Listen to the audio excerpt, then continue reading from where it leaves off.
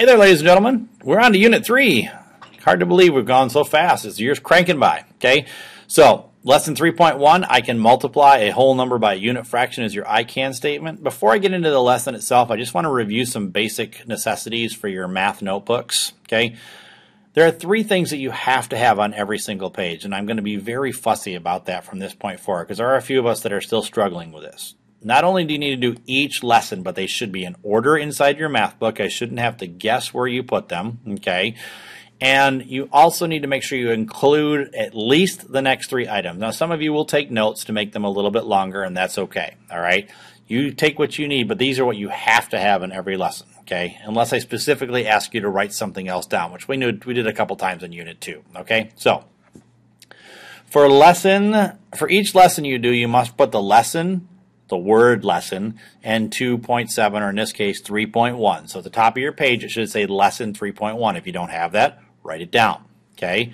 The next thing you have to have is your I can statement. I can multiply a whole number by a unit fraction is the I can statement for this unit, so that's what I expect to see there. Okay.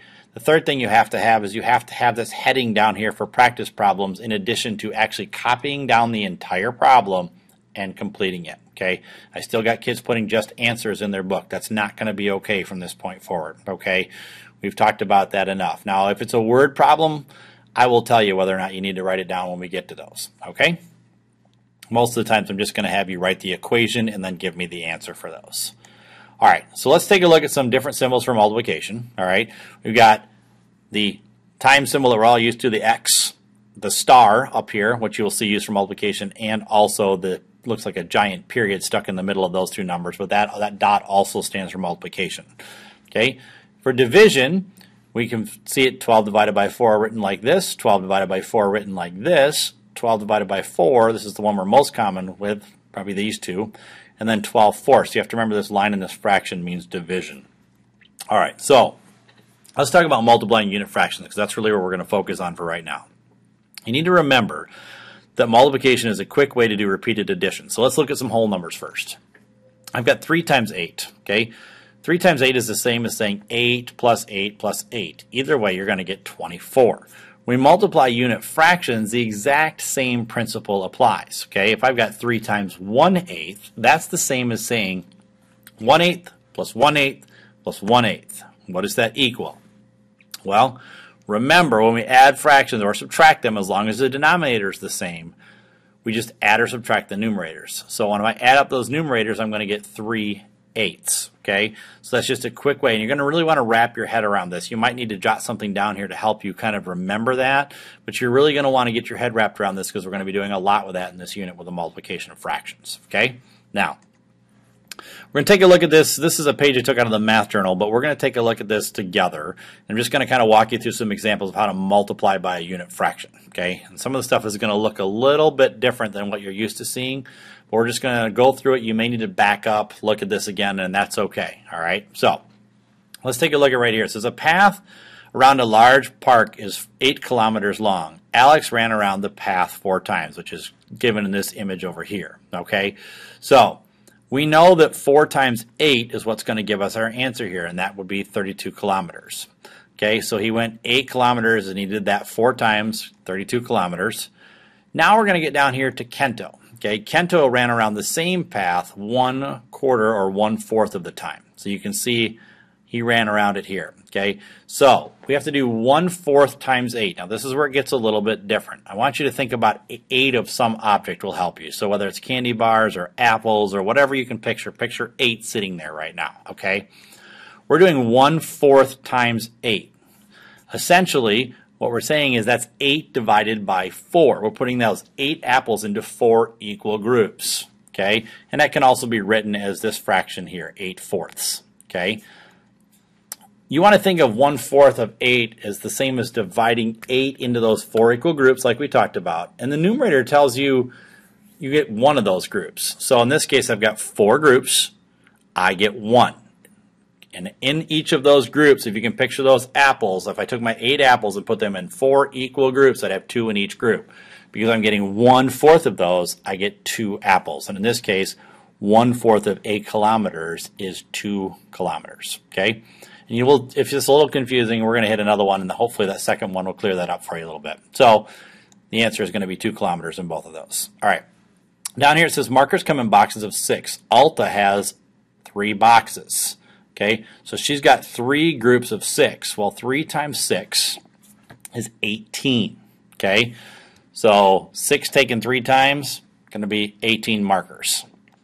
Now, Isabel has one third of a box of six markers. So I'm going to just kind of, they've kind of shown you that in this illustration down here. So they took two of these markers, right? They took a third of the group of six.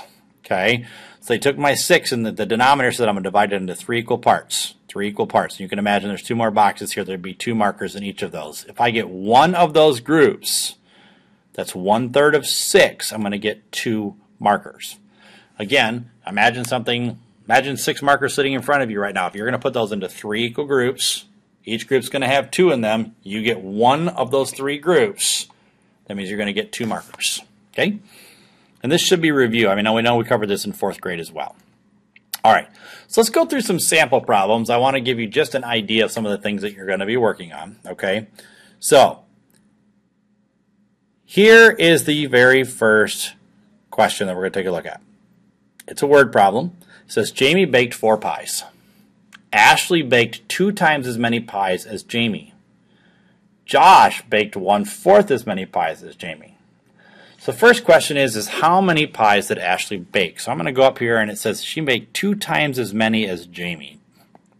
Well, if Jamie made four, okay, then that would be eight altogether. All right. Now, I'm afraid my slides got a little out of order. The equation should have popped up there, but I'm sure it's going to pop up in some weird place, but we're just going to run with it, okay? The next one says how many pies did Josh bake? He baked one-fourth as many pies as Jamie, okay? So I'm going to take the number of pies that he had, four, and I'm going to put them into four equal groups because that's what my denominator tells me to do. And if I do that, see there's my goofy multiplication problem showing up down there.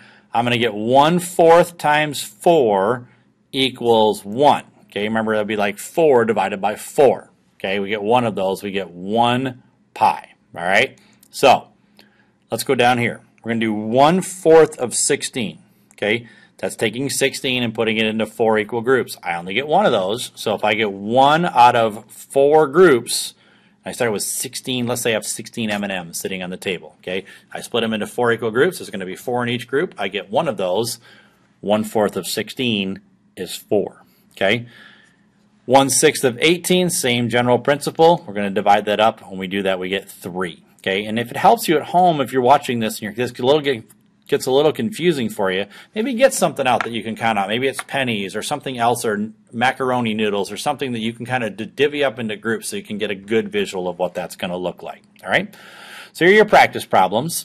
It says to solve, so practice problem number one, 1 eighth of 32 equals, and practice problem number two, 1 fifth of 25, or times 25. Those mean the same thing, okay? 1 eighth of 32 is the same as saying 1 eighth times 32, so just don't get confused by that when you look at that, okay? Down here you have to solve, the, solve and you have to write the multiplication equation for the problem below. Whoopsie, what happened there? Pardon me, let me get that back up so we can look at that. Apparently I slid a little bit too far there. Okay, so this is Matthew has 24 football cards. Stephen has one-sixth as many football cards as Matthew. Okay, this is where I don't need you to copy down this whole problem. Okay, you can write down problem number three, although it's not there, and then I want you to just put down how many football cards does Stephen have, write that down, and then put the answer, and then I want you to write the equation for that. I don't need you to word, write the words, write the equation, just show me the equation in your math notebook. And that's it for today.